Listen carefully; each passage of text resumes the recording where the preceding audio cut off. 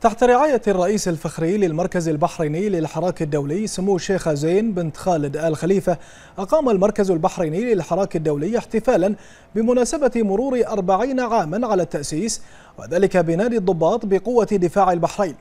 وافتتحت سمو الشيخ زين بنت خالد آل خليفة فعاليات الاحتفال الذي يشارك فيه الداعمون لمسيرة المركز البحريني للحراك الدولي من جهات حكومية وشركات وبنوك ومؤسسات وأفراد. أثروا إيجابا في مسيرة المركز وساهموا في مواصلة عطائه طوال أربعة عقود من خدمة المجتمع وذوي الإعاقة.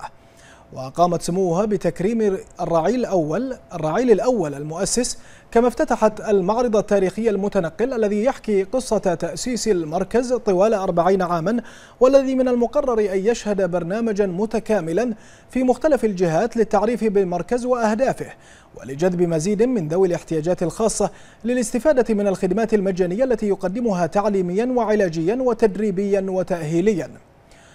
وقد أعربت سموها عن تقديرها البالغ للدور البارز والمحوري الذي يقوم به المركز البحريني للحراك الدولي في خدمة ذوي الاحتياجات الخاصة وتسهيل دمجهم في المجتمع في عمل متناغم وتعاون مثمر مع الجهات ذات العلاقة.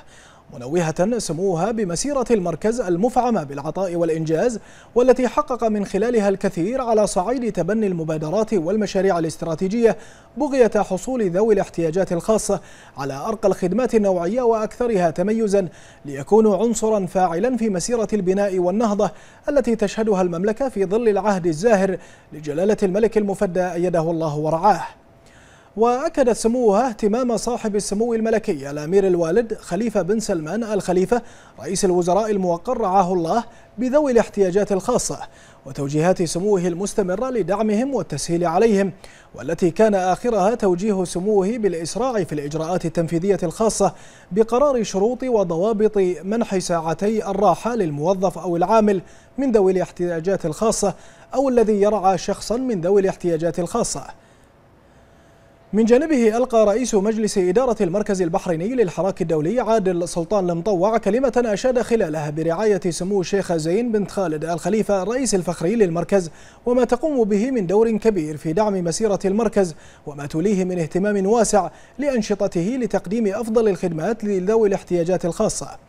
وفي ختام الاحتفال قدم رئيس مجلس إدارة المركز البحريني للحراك الدولي عادل سلطان المطوع درعا تذكاريا لسمو الشيخ زين بن خالد آل خليفة تكريما لرعايتها المستمرة لأعمال المركز ورعايتها للاحتفال واهتمامها البالغ والمستمر في تحقيق الأهداف المنشودة لخدمة المجتمع وذوي الاحتياجات الخاصة.